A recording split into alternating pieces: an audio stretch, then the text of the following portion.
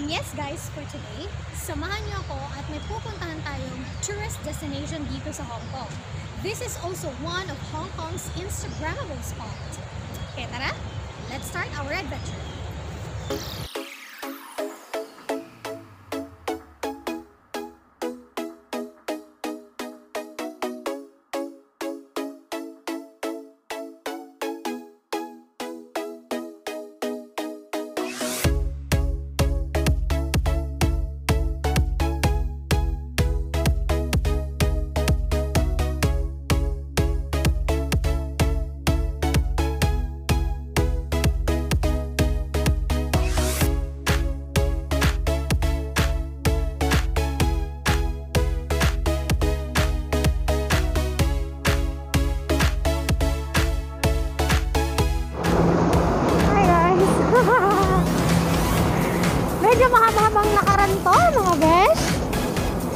Na ba?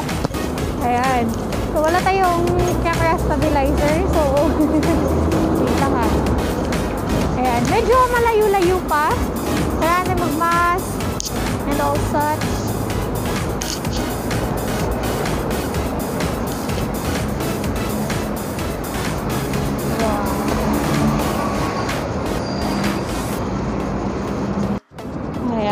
Guys, medyo mahaba-habang lakaran pa ito. oh. There you go. Ayan. So nag-iingat din tayo while we are having this vlog. Ayan. Saan ba tayo? okay, doon. Actually, right now, mga nasa mga more than 32 degrees yata. Kasi sobrang init and it's very humid. So, unlikely sa Pilipinas no, na pag um, sobrang init, okay lang kasi may hangin. Eh, dito parang wala. Ayan. So, parang toll free. So, tollway? What? Sinabi yung toll free. There you go. Ayan. So, it's either um, gagamit tayo ng hagdan. Ano gagamit ng hagdan?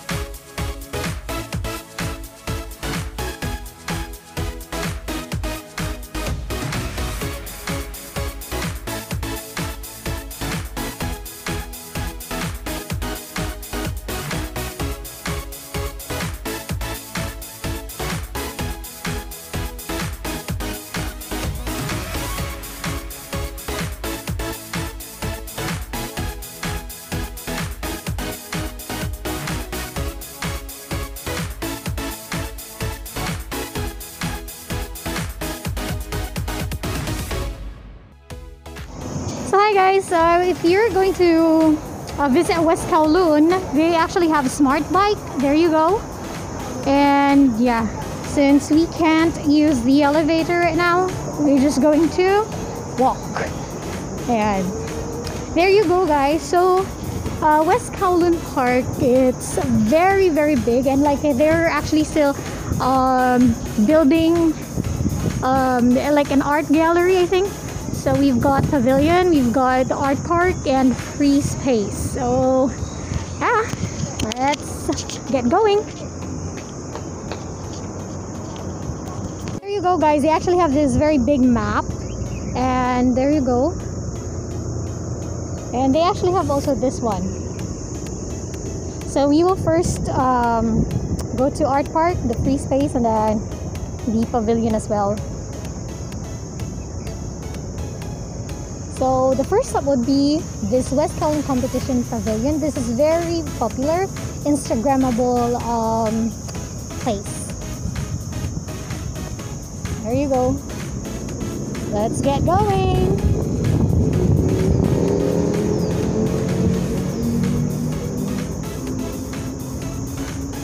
So, ayan guys, nakikita niyo yan. Kasi sobrang init. So, parang di kinaya ng camera ko yung ano niya. Ayan. So, that's a very popular um, sky deck. Ayan. So, there you go. O, yung cute ng aso. Hey, doggy doggy. Ayan.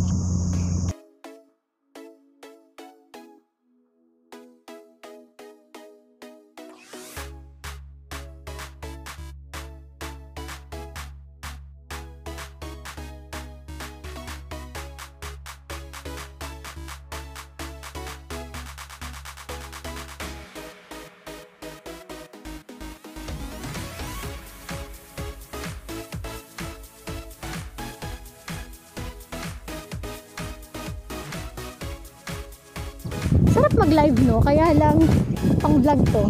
Vlog edition. okay. Alright, so here we are in the um, base side. Wow! Nakita ko niyo ba yun? Yan, papunta yan ng ano. Or baka parang kinuyod ano. Yung fast count. Tapos yun guys,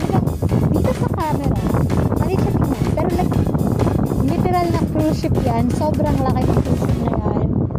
Digo.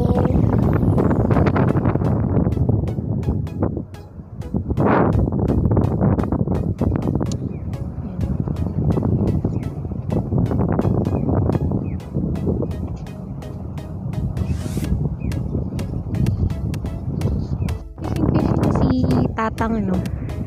Ayan. Social yung pagka-fishing-fishing na dito, no? Ayan.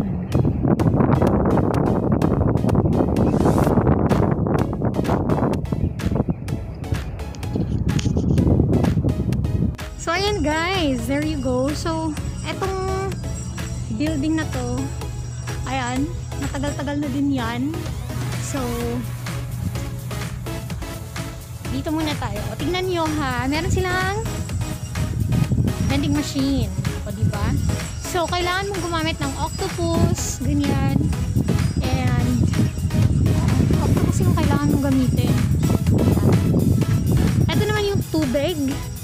Ito naman yung mga other products, mga drinks. Tara, punta muna tayo sa ibang lugar. And sobrang init na talaga. Hindi ko lang yung ano, yung payong ko, no? ayan, so, ayan guys, so, may isang fast craft dyan, oh.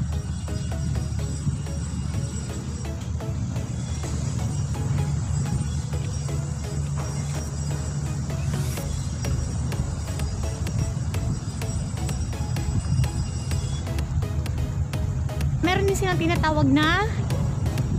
Nakalimutan ko kung anong di ba uso to sa, ano, sa province natin? Mga ganitong kahoy. Ano sa Pilipinas ka rin lang. Dito tayo sobrang init. Ayan. ay catching a fish si Lolo. O di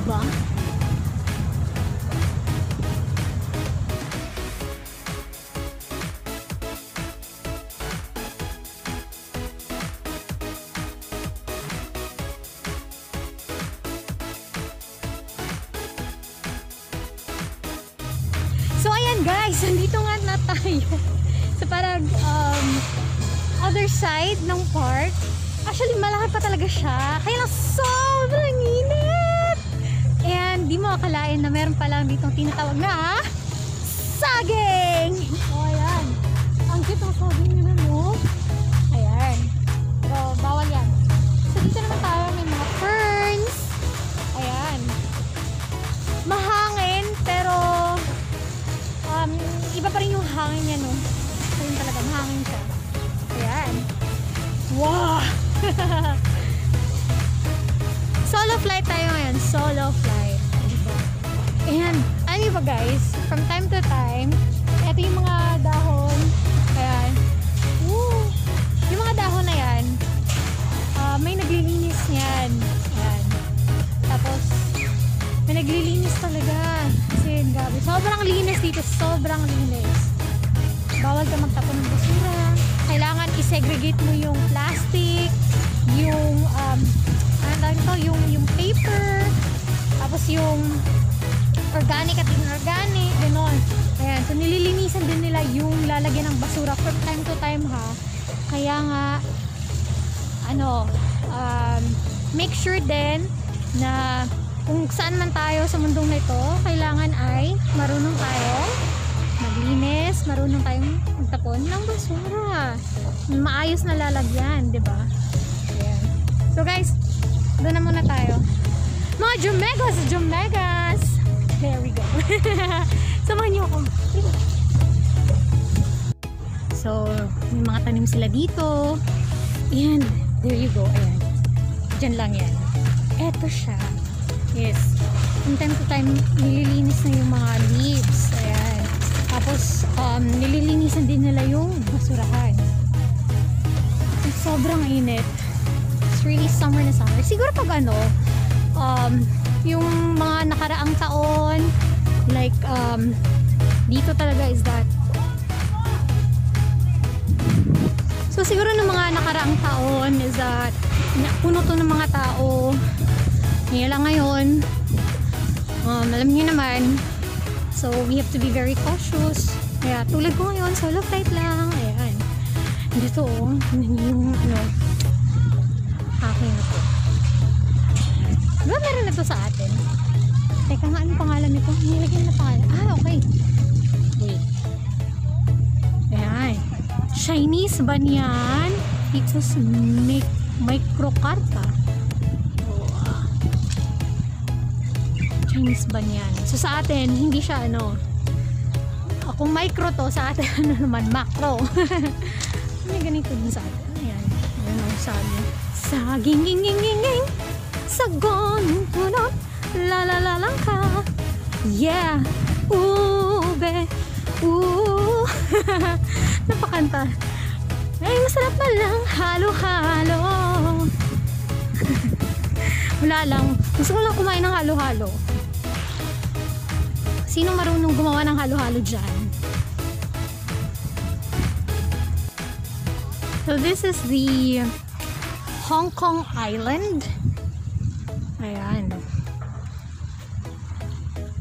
It's also the very popular tower in um, Hong Kong side. So, puro business uh, buildings. Tao dito guys, napaka-busy when it comes to work and um, Saturdays and Sundays, yung mga pahinga nila, nag-jogging.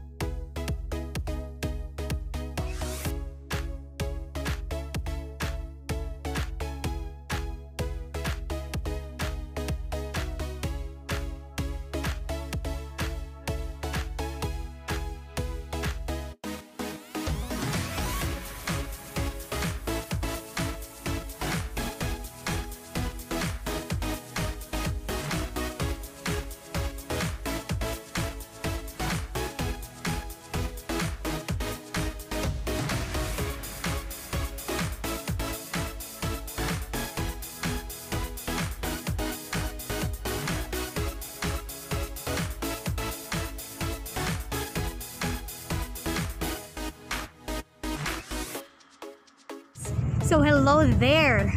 Medyo mahangin siya, no? Pero nakikita nyo ba, zoom ko talaga siya. Dito makikita yung, wait lang. Ayan. Yan yung uh, one of the most, ano ba, parang expensive places or like expensive um, housing